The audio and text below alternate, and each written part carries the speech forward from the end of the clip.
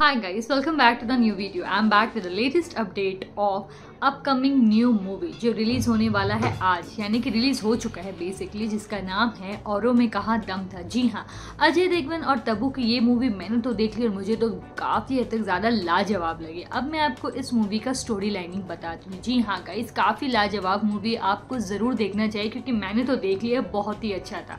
तो यहाँ पे जो पहले दो यंग कपल्स को नज़र आते हैं, जिसका नाम है सई एंड शांतनु, ये दोनों यंग तबू और अजय देवगन का किरदार को प्ले कर करते हैं इस मूवी पे, जहाँ पे ये दोनों काफ़ी हद तक ज़्यादा एक दूसरे से प्यारी प्यारी बातें करते हैं।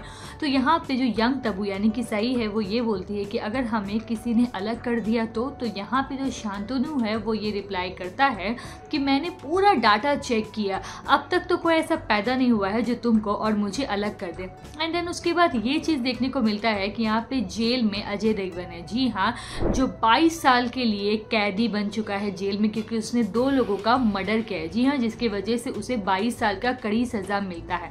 एंड देन उसके बाद एक काफ़ी हद तक ज़्यादा ट्रांजेक्शन दिखाई देता है कि ऐसे यंग अजय देवगन से ये ओल्ड में चला जाता है। बाईस साल बाद का सीन दिखाता है जहाँ पे जो तबू है, उसकी शादी हो जाती है, जहाँ पे उसका हस्बैंड का रोल प्ले करता है जीवी शेर के। जी हाँ। एंड देन उसके बाद यहाँ पे जो है अजय देवगन की बाईस साल की सज़ा ख़त्म हो चुकी है। अब वो बाहर आने वाला है। जी हाँ कृष्णा बाहर आने वाला है।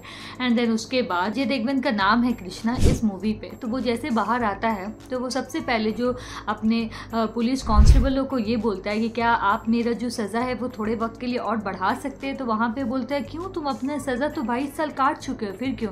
तो यहाँ पर अजय देवगन यानी कि कृष्णा वो ये बोलता है कि मैं लोगों को फेस करने के लिए भी रेडी नहीं हूँ।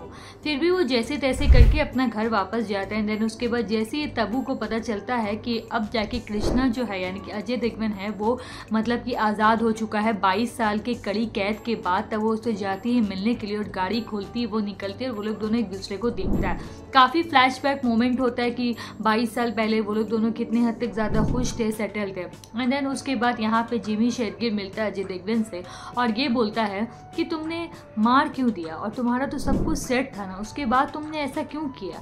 तो अजय देवगन, यानी कि कृष्णा ने ये बोला कि मुझे एक बीमारी है जिसकी वजह से मैं करता पहले हूँ और सोचता बाद में हूँ। जी हाँ। अब यहाँ पे एक सस्पेंस है जो मैं अभी बताने नहीं वाली हूँ कि यहाँ पे ये जो नाम है, औरों में कहा दम था। औरों में कहा दम था, हमें तो अपनों ने ही लूटा है। ये बेसिकली एक लाइन है और यहाँ पे सिर्फ़ एक टाइटल है, औरों में कहा दम था।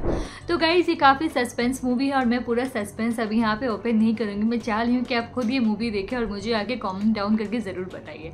तो तबू और अजय देवगन की ये केमिस्ट्री मुझे तो इस मूवी के अंदर बहुत ज़्यादा अच्छा लगा। मुझे मूवी बहुत ही ज़्यादा अच्छी लगी जो आज रिलीज़ हो गई है।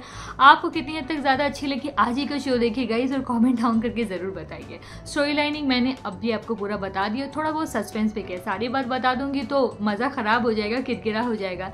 So this is overall update how much you like the video let me know the comment box be with me don't forget to subscribe तब तक चाचा बाय बाय